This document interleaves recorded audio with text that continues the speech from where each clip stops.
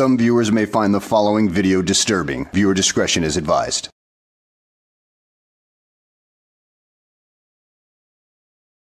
Well, hello and welcome back to the channel, everybody. In today's video, we find ourselves somewhere in Texas, I think.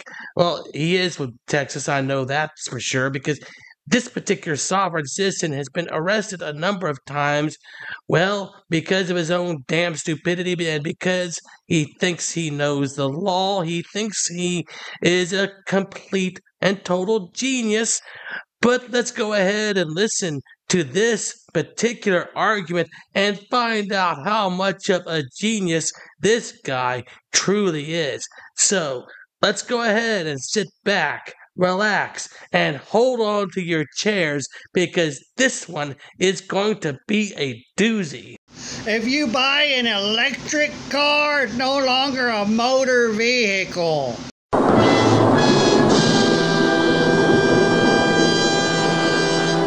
It's not classified as a motor vehicle.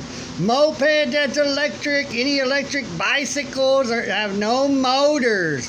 They're not a motor vehicle, so they do not, uh, they are not uh, under the motor vehicle transportation codes.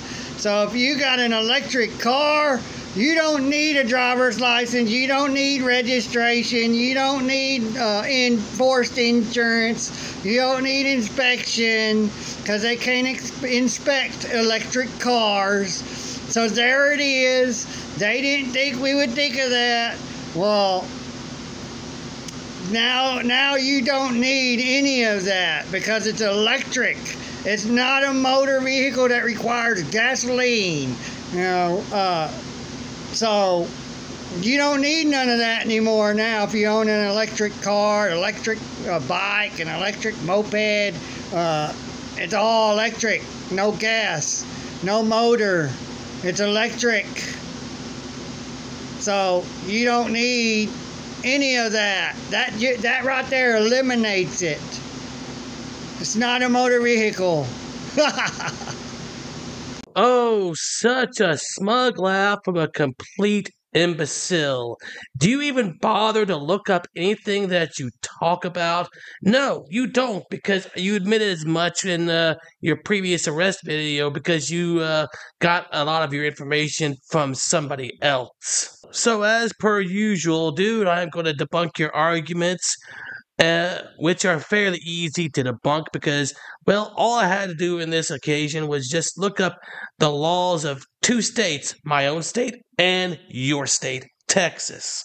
Now, according to Florida law, Title 23, Chapter 320, Motor Vehicles, Motor Vehicle Licenses, Motor Vehicle Definition, an automobile, motorcycle, truck, trailer, semi trailer, tractor trailer, or semi trailer combination or any other vehicle operated on the road in the, of this state used to transport persons or property and propelled by power other than muscle power, but does, but the term does not include tractor engines, road rollers, motorized scooters, uh, micro mobility devices, personal delivery devices, and uh, mobile carriers as defined in another section, of course. So, in Florida, at least, you would be dead wrong, considering that this is a very large umbrella which would cover electric vehicles.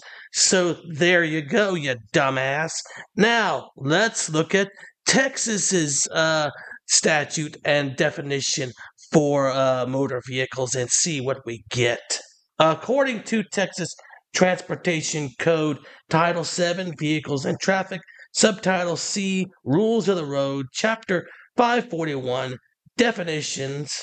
Passenger car means a motor vehicle other than a motorcycle used to transport persons designed to accommodate 10 or fewer passengers, including the operator. So, you know what, dude? Once again, you fail at doing the simplest little bit of research on anything, dude. So try to stay in your lane and do what you do best. Sit on that in that chair and try to look stupid.